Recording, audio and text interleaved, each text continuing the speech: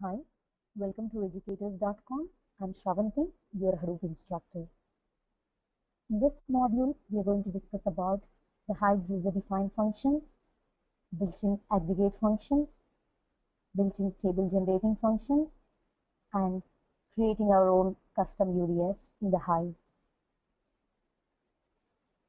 Hive user-defined functions. We do have a separate user-defined functions like a mathematical functions and the string functions. Under these mathematical functions, if you wanted to manipulate any of these uh, values like round or ceil, fold, um, floor, or if you want to find out any of the greatest, least, or generating a random number, or finding out the square roots, sine, cos, tan, such kind of the mathematical uh, functions if you want to use any of these things, we do have these mathematical functions, built-in functions are already available in the Hive.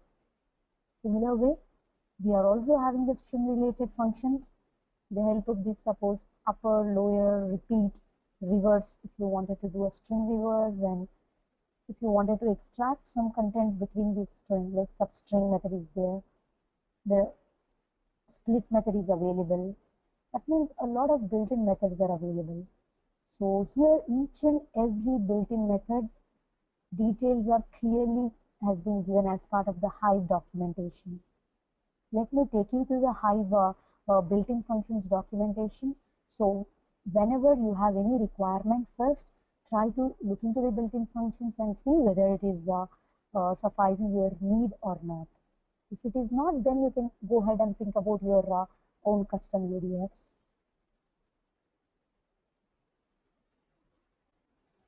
Just open your browser and just search the Hive built-in functions.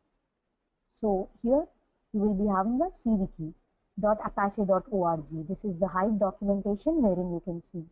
So if you click on this Hive documentation over here, there is something called a language manual UDF and here you can see a different types of the built-in functions. A lot of built-in functions are available.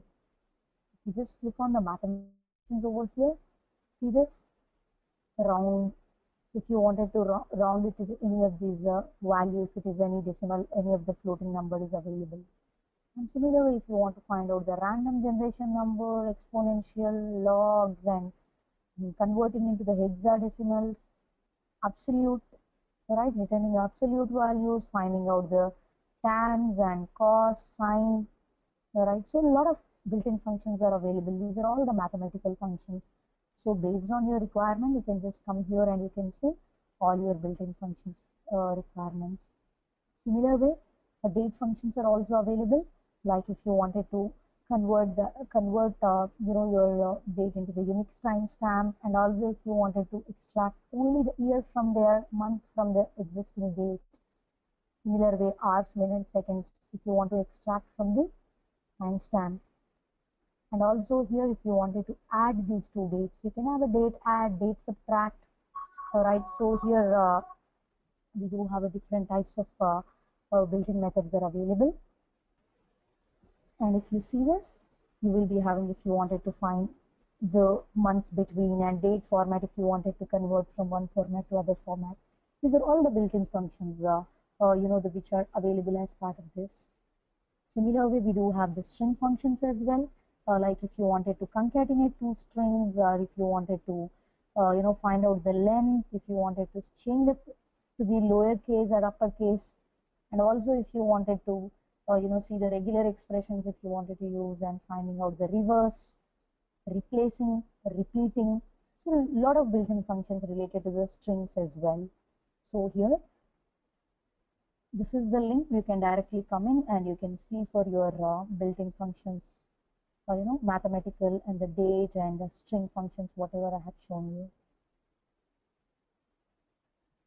And also over here we do have the built-in uh, UDF as well. That means aggregation functions. Aggregation functions are nothing but uh, it uses instead of a single uh, column it uses a multiple things. Like if you wanted to find out the average it uses a lot of values. Like if you wanted to find out the maximum minimum or standard deviation sum average count such kind of the things you will be calling that as aggregate functions And also we do have something called a table defined functions are available, user defined uh, table functions like you do have explode and uh, parse and with the help of this what you can do is uh, if you use the explode it, returns one row from the, each of the element if you're having a multiple array. So a lot of built-in functions are available here. To see these things, let me just open the built-in uh, functions documentation in the Hive. We can also see the UDAF and UDTF details there. And here you can see something called a UDAF that is aggregation functions. Alright. So these are count, sum, average, maximum, minimum. So it takes a lot of values and then it will returning a single value from there. Similar way, you will be having a table generating functions as well, like as I mentioned you data, explode and the different methods are available. So here once you understand each and every, I mean, once you see these built-in functions and if you understand that the built-in functions are not sufficient for your need, in that case itself, you will be, mm, you know, you will be writing your own custom UDFs. And here writing the custom UDF is uh, uh, how you will be, I mean, here you can write in the Java or any other programming languages. To write it in the Java over here, once we log into the Cloudera Quick Start VM, you can open your Eclipse there you can create a package and we can create a class. And whatever the method I mean whatever the custom UDF you are writing in the Hive it must need to override the evaluate method. And also it must need to extend the um, I mean you must need to use this uh, apache.org.hadoop you must need to extend the udf class and override the evaluate method and once you write the program, the code for your own custom UDFs, like probably converting your uh, temperature from one form to other form, like centigrade to Fahrenheit, or it can be anything. So you can write your code, and once the code is written, you must need to export that into the jar file. Then add that uh, jar into your Hive shell, and then you can create a temporary function and custom UDF method. So let me log into the Cloudera Quick Start VM and show you how to write your own custom UDFs. So I logged into the Cloudera Quick Start VM and here to write your custom UDF, just double click on your uh, Eclipse on top of your screen. Once you double click on this Eclipse, it will take you to this particular screen. To write your Hive, what you need to do is you must need to uh, you must need to click on your uh, right click on your training and you have to add some of the jar files because to write your Hive shell, Hive queries, you must need to extend the UDF class and override the evaluate method. So the queries related to that, uh, the, the definitions related to those uh, classes and everything is available as part of the another jar. So that just right click on the build path and here configure build path and click on the libraries and add external jars. Under your add external jars, just navigate to the path where your uh, uh, Hive is installed. So here Hive is installed under user. Go to the file system, right? And here click on user and then click on the lib, lib directory. Inside the lib directory, you do have a Hive folder. So inside the Hive, you do have again a lib. So user lib hive lib is the directory wherein you will be having all the jar files. So in that to write your uh, custom UDF, so, so you need to add this particular hive jar. There is a one jar is available which is a hive exec jar. So you just need to add this specific jar. Just click on OK so that the hive exec jar uh, gets added to here so that it will allow you to write your custom UDFs by extending the UDFs class and overriding the evaluate method. So this is the first step you need to do.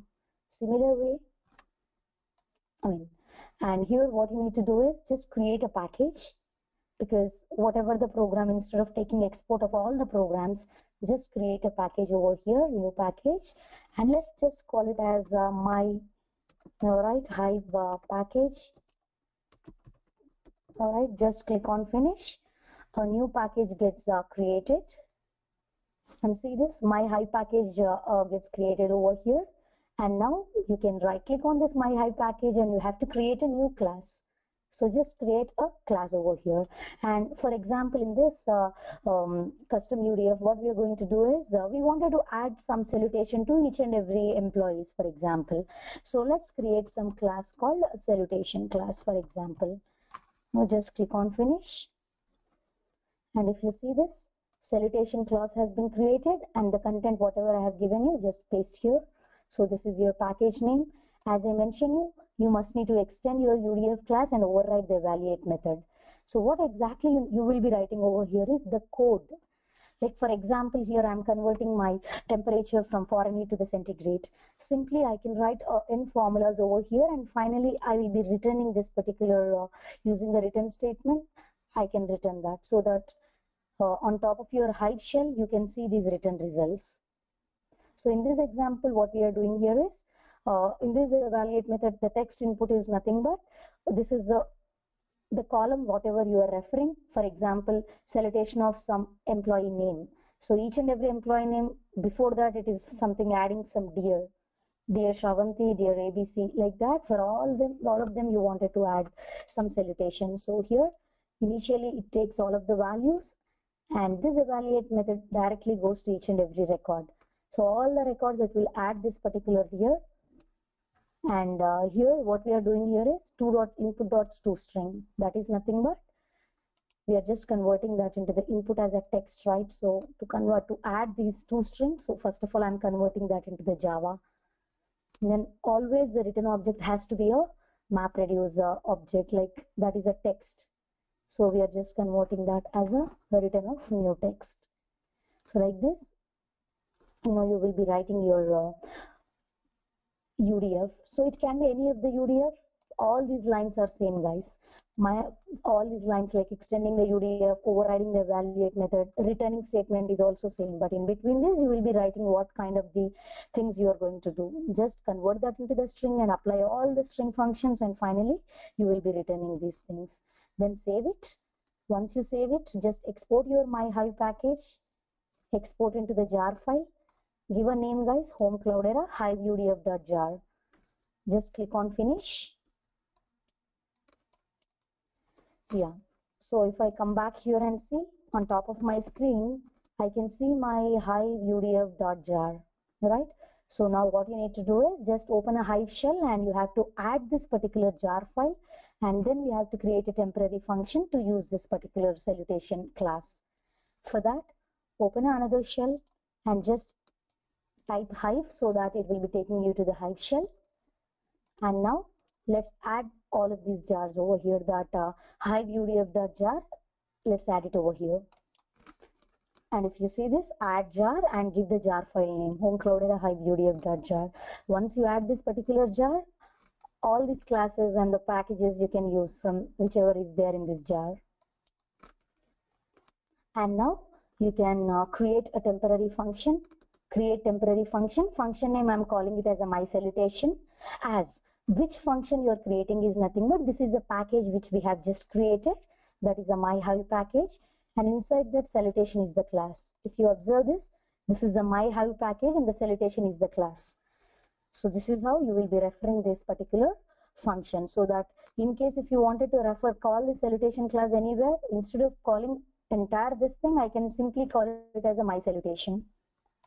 So let's see whether we do have our employee table or not. Select start from employee for instance. Okay, employee table not exists. Let me just see. So let's create a sample class over here. Create table. An employee EMP table we are creating which consisting of an employee ID and this consisting of a employee name some salary for example row format delimited fields terminated by comma for example. So once this table is created let's load that data into the Hadoop. So for that let's prepare a data set. How to prepare a data set over here? Just create a gedit and some EMP, EMP for example. Let's create an employee ID and employee name and some salary some other employee, some salary, all right, some content is here. as it is a comma separated you just need to load this particular file emp file into your uh, hive shell so just go back to your hive shell and similar way how we used to load data local in path and just give your file name which is the emp into table emp is my table name. We are just loading that data into this. So if you wanted to see after loading just see the data is there. Now in the previous case we have already in the previous case we have already created our uh, method called my salutation right? So now we can call that method on this uh, employee name right? So that uh, it will be displaying like dear Shravanti dear ABC like that. Yeah if you see this select my salutation is the um, function which I have created right the employee name is a column from emp table. So emp table it is taking all the employee names from this and it is adding that dear. That means whenever I'm having this my salutation it internally checks any of these uh, when I created a temporary function it was using that uh, class name as a package name dot that class. So it goes and executes that specific class and if you forget to add that jar file then it doesn't even have the information about your uh, my hive package and uh, your salutation class information. So you must need to add that jar. And then second you have to create a temporary function to execute uh, add these uh, package name dot class name so that you can directly call this uh, function anywhere in any of the any of the table not only on the employee table. Any of the table if you wanted to use any of the salutation class you can just use this uh, my salutation of that particular column. This is how you can create your uh, custom udfs so in this module we have seen about the built-in functions and we have seen the how mathematical string related date related functions works and also we have seen the udaf like aggregations uh, functions and also the table functions. And in case if the built-in functions are not sufficient for your requirement, you can also write your custom UDFs that will take care about uh, mm, extending your UDF class and overriding the evaluate method. Write your code and export into the jar file. Then we added that into the jar in the Hive shell and created a temporary functions to call this uh, custom UDF function whichever whenever you required. Thank you. Let's catch up in the next module.